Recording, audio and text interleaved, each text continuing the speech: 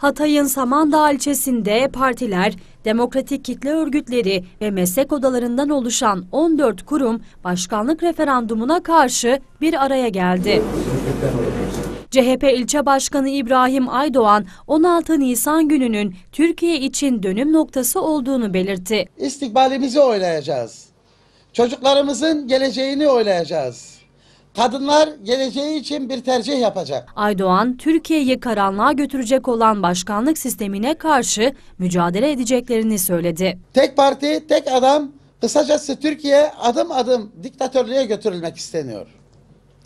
Bizler bunun karşısında ya demokrasi ve cumhuriyeti parlamenter sistemini seçeceğiz ya da ülkeyi karanlığa götürecek tek adam rejimine boyun eğeceğiz. Kırklareli'nin Lüleburgaz ilçesinde ise Milli Anayasa Hareketi başkanlık sistemiyle ilgili panel düzenledi. Ve ne olursa olsun buradan Türkiye'nin demokrasisinin iyi kötü, ite kaka ilerleyen demokrasisinin hiç değilse normal yollara gelebilmesi için hayır çıkması lazım. Evet çıkarsa arkasından geçecek, gelişecek süreci hiçbirimiz öngöremiyoruz açıkçası. Panelde konuşan Aydınlık Gazetesi Genel Yayın Yönetmeni İlker Yücel, AKP'nin artık ülkeyi yönetemediğini vurguladı. Biz PKK ve FETÖ Amerika mücadelesini Tayyip Erdoğan'a bırakmayacağız. Tam tersine Tayyip Erdoğan bu mücadeleyi yürütemediği için devrilecek.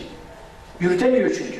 Beceremeyecektir. Şu anda başkanlıkta yapması da beceremediğinin bir göstergesi. Başkanlık sistemine karşı kadınlar da sessiz kalmadı. Cumhuriyet Kadınları Derneği Denizli Şubesi üyeleri hayır kampanyası başlattı. Cumhuriyetimizde kazanmış olduğumuz hak ve özgürlüklerimizden biz kadınlar vazgeçmek istemiyoruz. Ulusal Kanal Hatay muhabiri vatandaşların nabzını tuttu. Hataylılar olarak Hatay'ın sınır kapılarının açılması için hayır diyoruz. Bu hükümet ve bu başkan Hatay'ın sınır kapılarını kapattı. Suriye ile olan ilişkilerimizi bozdu. laikliğin korunması için, memleketimizde hukukun üstünlüğünü sağlaması için, insan haklarına saygı için hayır diyoruz. Ve referandumun ne olduğunu insanlar bilmiyor. Bunu bir parti oylaması gibi görüyorlar.